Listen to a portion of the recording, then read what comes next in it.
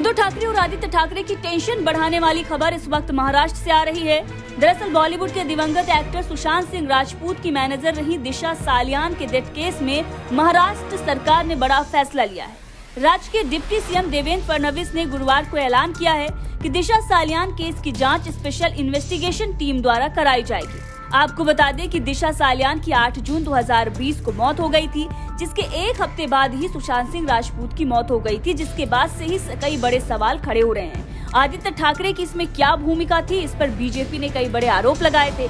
BJP के नेता नितेश राणे ने इस पर गंभीर आरोप लगाते हुए सबूत पेश करने की भी बात कही थी। एक बार फिर से उन्होंने ही इस मुद्दे को उठाया है, जिसके बाद ये फैसला महाराष्ट्र सरकार के द्वारा लिया गया है। दरअसल इस मामले पर बात करते हुए बीजेपी नेता नीतीश राणे ने नार्को टेस्ट की भी बात कर दी। नार्को टेस्ट होना चाहिए, आदित्य ठाकरे का इस मामले में ये मांग उठाई थी। बीजेपी के नेता नितेश राणे ने, जो कि विधायक हैं, क्या कुछ उन्होंने कहा था? ये सुनिए, उसके बाद आपको बताते हैं देवेंद्र फडणवीस ने क्या कुछ कहा है सदन में इसको लेकर।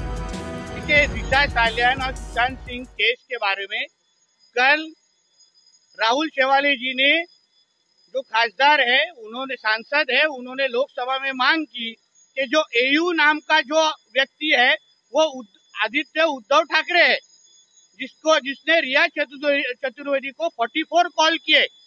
हम लोग पहले दिन से बोल रहे हैं कि ये सुशांत सिंह और दिशा सालियान के केस में जिस मंत्री का इन्वॉल्वमेंट है, जिस बारे में बिहार पुलिस ने भी रिपोर्ट तैयार की है। उनका नाम आदित्य ठाकरे का नाम बिहार पुलिस ने भी लिया था।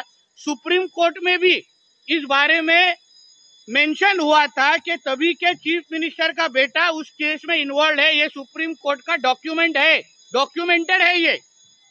तो इतना सब होने के बाद अगर सच्ची में सच बाहर आना होगा तो जैसे श्रद्धा वालकर के मर्डर के बाद आफ्ताब का नार्को टेस्ट करने के बाद सच्चाई बाहर आई, वैसे ही दिशा सालियान और सुशांत सिंह राजपूत के केस के बारे में आदित्य ठाकरे की नार्को टेस्ट होनी चाहिए, जिससे सच बाहर आएगा और दूध का दूध पानी का पानी हो जाए।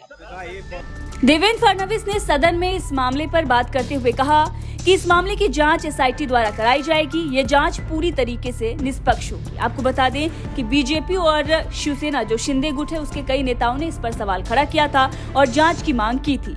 जिन नेताओं ने जाँच की मांग की थी, उनके नाम है भरत गोगावले, नितेश राणे, भारती लावेलकर, मनीषा चौधरी, मधुरी मिसाल और निर्दलीय विधायक रवि राणा ने भी दिशा सालियान मामले की जाँच कराने की मांग की थी।